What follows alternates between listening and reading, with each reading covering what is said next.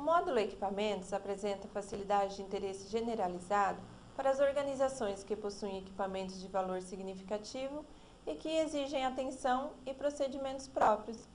Em termos tecnológicos, é uma área que tem avançado muito e beneficia hoje de facilidades importantes em termos de tratamento ótico, códigos de barras, RFID e rastreamento remoto.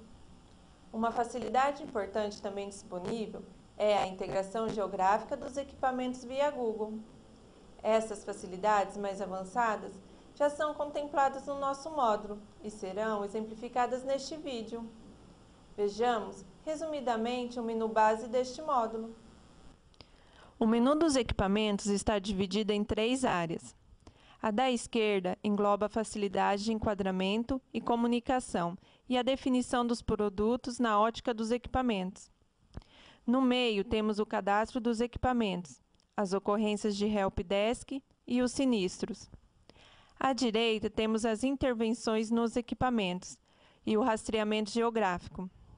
Nota-se que o rastreamento geográfico em si, tal como acontece noutros módulos como veículos, patrimônio, etc., é uma extensão ao módulo que pode não ser usada nem subscrito pelas organizações.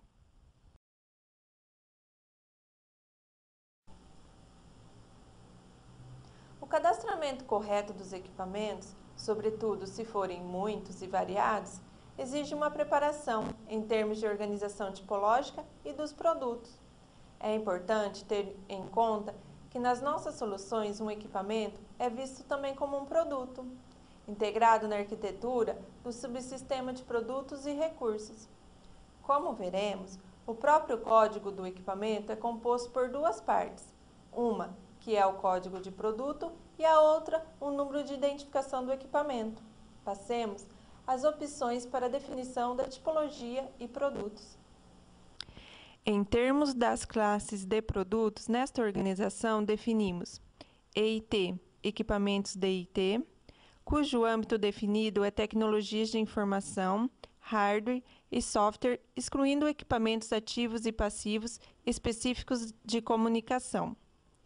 EIC, equipamentos de comunicação. EEI, escritório, instalações e etc. Entrando nos tipos de produtos, no que respeita aos tipos de produtos, definimos dentro de cada classe. Temos para a classe EEM, Equipamentos Eletromecânicos Gerais. Dentro do grupo EEMGB, grupos eletrobomba. Os tipos de produto: bomba, grupo elétrico, compressores e etc.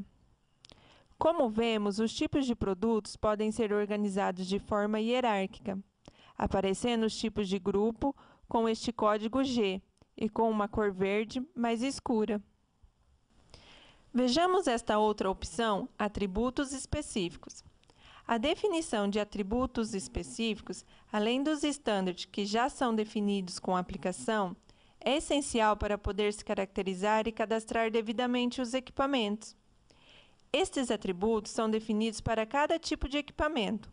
Por exemplo, neste caso, definiu-se para o tipo bomba os atributos específicos: abertura, altura manométrica, caudal, diâmetro turbina, número de impulsores, entre outros. Isto é, quando se for cadastrar equipamentos do tipo bomba, será possível introduzir no sistema para esses equipamentos além das características comuns a todos os equipamentos, também as características que forem definidas como atributos específicos. Assim como se definem atributos específicos, também podem se definir regras de manutenção.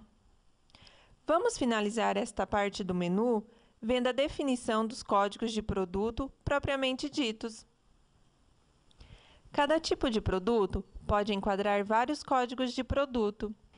Neste caso, vamos pedir a classe EIT dos equipamentos DIT. Como vemos, aparecem vários produtos em dois grupos, que correspondem a dois tipos de produtos diferentes. Primeiro, temos equipamentos DIT computadores, como o mouse, teclado, monitor, impressora, notebook e outros. E depois os equipamentos DIT, rede, switch, router. Como veremos adiante, o código do equipamento será composto por estes códigos de produto mais um número. Por exemplo, EITPR 012 para a impressora 012.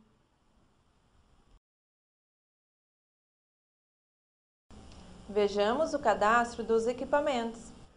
Nesta opção, obtém-se a listagem dos equipamentos, onde consta a informação mais importante sobre os mesmos. Vamos a Critérios. Vamos selecionar Equipamentos EEMS. Aqui temos dois reservatórios. Vamos examinar o reservatório SD. Pertence à unidade 1113 Logística, atividade A, e está na instalação 0102, que é o armazém A. O responsável deste equipamento é a Fátima Lopes e tem dois links para ocorrências. Fazendo um clique neste link relativo a uma válvula solta, acendemos de imediato a respectiva ocorrência. Voltando à listagem dos equipamentos, podemos, por exemplo, ver os comandos de saltos. Existem vários, mas vamos saltar para os atributos específicos. E temos uma série de atributos específicos que foram definidos para esse tipo de equipamento e também definidos com os seus valores. Por exemplo, pressão máxima 90 bar. Vamos agora ver rapidamente mais duas opções desta parte do menu: as fichas dos equipamentos e as guias de equipamentos. Como vemos, as fichas são de formato reduzido para poder imprimir em papel resistente, para colar ou usar de outra forma, para colocar junto dos equipamentos. Isto é muito útil, sobretudo para organizações que não tenham web em toda a parte para se poder consultar os dados sobre o equipamento. É uma facilidade simples e muito útil, pois permite a quem usa o equipamento aceder aos seus dados essenciais, evitando muitos e até graves problemas. As ocorrências com equipamentos, como pedidos de movimentação, avarias e outras, podem ser tratadas pelo Helpdesk Suporte Geral. Sem entrar em detalhes, já que o tratamento das ocorrências é apresentado no vídeo sobre o Helpdesk Suporte Geral. Vamos, sucintamente, ver o tratamento destas ocorrências. No menu, ao escolher a opção Helpdesk, entra-se diretamente nas ocorrências de Helpdesk que respeitam a equipamentos e ainda não estão encerradas. Se necessário, podemos ir aos critérios de seleção e aceder aos históricos das ocorrências encerradas. Analisando esta ocorrência, vemos que foi um problema com uma válvula, onde há observação interna que diz que isso tem acontecido várias vezes com o tipo de equipamento em causa. Aqui à direita temos a causa, que parece ser defeito de fabricação, a solução provisória concretizada, a resolução que se pretende e ainda nas considerações a recomendação de resolver a questão em conjunto com o fornecedor. Esta base de ocorrências permite não só tratar as mesmas quando ocorrem, acompanhando-as até estarem resolvidas, mas também constituir um histórico muito importante do que aconteceu. Possuir uma ferramenta para registrar informações sobre sinistros ligados a equipamentos é uma facilidade importante para acompanhar os sinistros recentes ou mesmo em termos históricos. Ligados aos sinistros estão os valores seguros, as franquias, as apólices. São as opções ligadas aos seguros e aos sinistros propriamente ditos que vamos a seguir apresentar.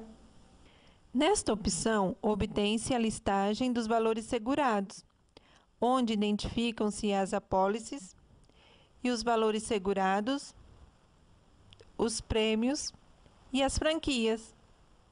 Quanto aos sinistros, os elementos registrados têm a ver com o equipamento, eventuais terceiros envolvidos e o sinistro em si. Temos a cobertura amolgada, vidros partidos ligações para a bombagem danificada. O sinistro aconteceu como se vê aqui à direita. Uma árvore do vizinho que caiu em cima do equipamento e estão tentando resolver amigavelmente.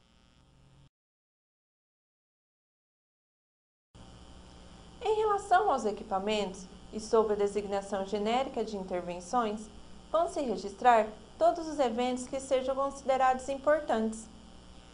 Podem-se registrar todos os tipos de eventos, como abastecimentos, movimentações, manutenções, revisões, reparações, inspeções, entre outros. Esta informação permite uma análise de custos rigorosa e decisões a tempo em termos da gestão dos equipamentos. Vejamos. Nesta opção obtém-se a listagem das intervenções. Vamos procurar intervenções em equipamentos EEM. Temos três. Temos aqui o transporte do reservatório SD. Foi transportado para outra obra, foi deixado e aguarda recepção. Aqui, uma manutenção do mesmo reservatório por meios externos, com uma recomendação para substituir o equipamento. Está muito degradado. Esta intervenção teve um custo de mil. Por último, aqui, uma manutenção de um grupo elétrico feito com recursos internos.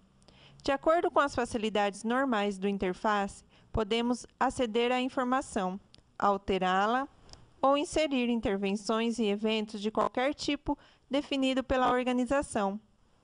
Constitui-se assim uma base de intervenções e eventos associados aos equipamentos, essencial a qualquer organização que tenha equipamentos com valor significativo.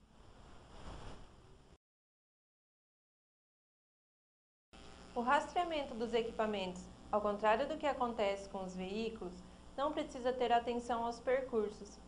O que interessa no que respeita aos equipamentos é onde eles estão em termos de instalações, estaleiros e etc.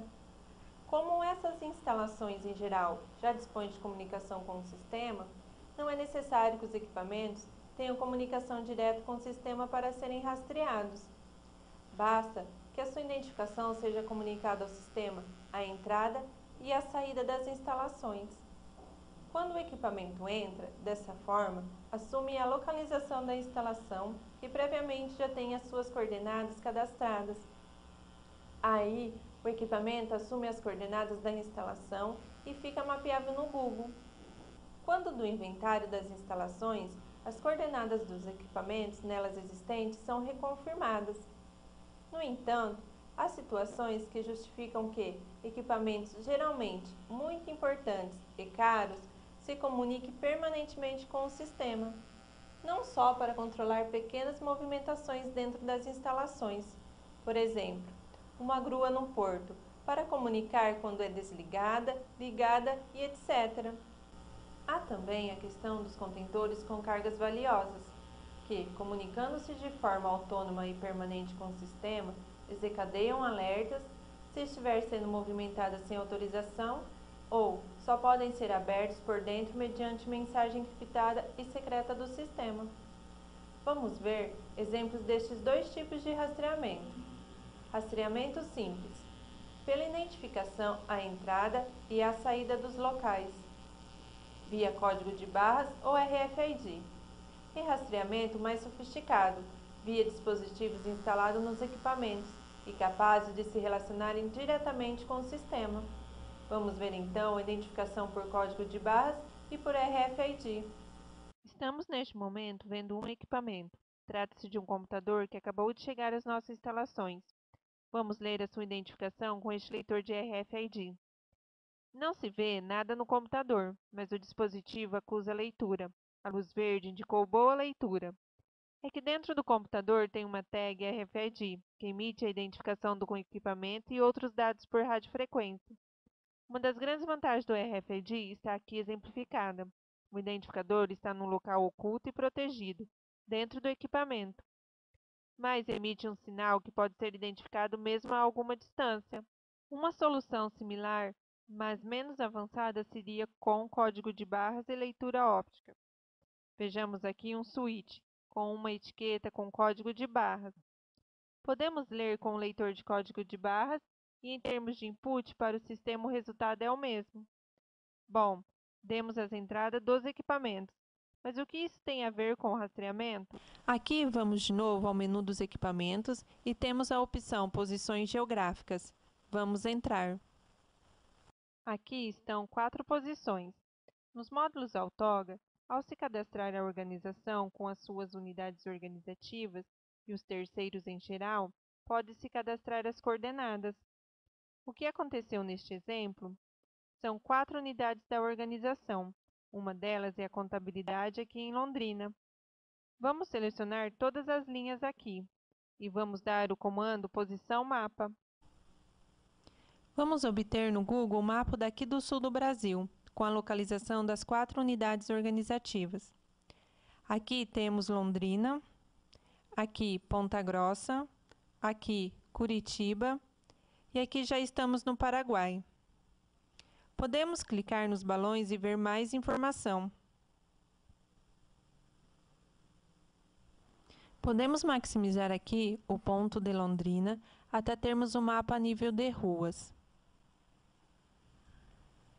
E, claro, podemos optar pela imagem de satélite. Bom, em relação aos equipamentos e o que acontece é que eles, ao darem entrada, como atrás vimos, se estiver no cadastro da unidade onde entraram as coordenadas, o equipamento fica automaticamente com elas. Depois, sempre que eu quiser saber onde estão os equipamentos no mapa, é só eu fazer o mesmo, que acabamos de fazer em relação às unidades organizativas.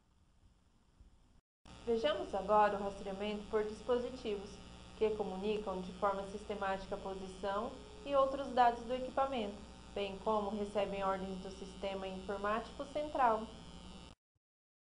Este tipo de rastreamento dos equipamentos e outros bens é apresentado com mais detalhe no vídeo sobre veículos. Começa com a instalação de um dispositivo de rastreamento como este, no equipamento ou bem. Este dispositivo é como um celular com GPS, que envia periodicamente mensagens comunicando às nossas aplicações as coordenadas da sua posição, direção, a velocidade e outros dados. Os nossos módulos recebem essas mensagens, registram na base de dados e, como veremos mais à frente, permite depois indicar no Google a posição atual, a velocidade, direção, o percurso recentemente percorrido ou mesmo de algum tempo atrás por consulta ao histórico. Estas mensagens também permitem outras funcionalidades, verificar se os horários estão sendo cumpridos, ajustar os tempos de trabalho e tempo parado. Além das mensagens emitidas do dispositivo para as nossas aplicações, é possível o inverso, transmitir mensagem das nossas aplicações para o dispositivo e dessa forma ativar sensores, dar indicações ao motorista e etc. Em termos de rastreamento, o resultado final é igual ao que obtivemos atrás com RFID. As coordenadas são carregadas nos equipamentos e assim podemos vê-los no mapa e no satélite. Por isso, a opção por este sistema, muito mais cara, só se justifica se, além do rastreamento, pretender receber informação adicional, como a ligada aos tempos de trabalho ou enviar ordens por SMS. Face ao exposto, cabe a cada organização avaliar as suas reais necessidades e escolher o sistema de rastreamento para cada tipo de equipamento que seja mais adequado. Neste vídeo apresentamos um módulo para a gestão dos equipamentos, com um detalhe necessário para uma primeira avaliação do seu interesse para a sua organização. Convém realçar que, conforme a organização, podemos estar face a projetos simples, de início imediato, ou projetos mais complexos, que incluam muita diversidade de equipamentos, o uso do RFID, inclusive o rastreamento integrado, em termos geográficos com o Google. Neste contexto, lembramos que o diálogo pode ser aprofundado para uma melhor análise das suas necessidades e das respostas que temos para elas. Nós e a rede de parceiros em que nos integramos estamos inteiramente disponíveis para o ouvir e apoiar.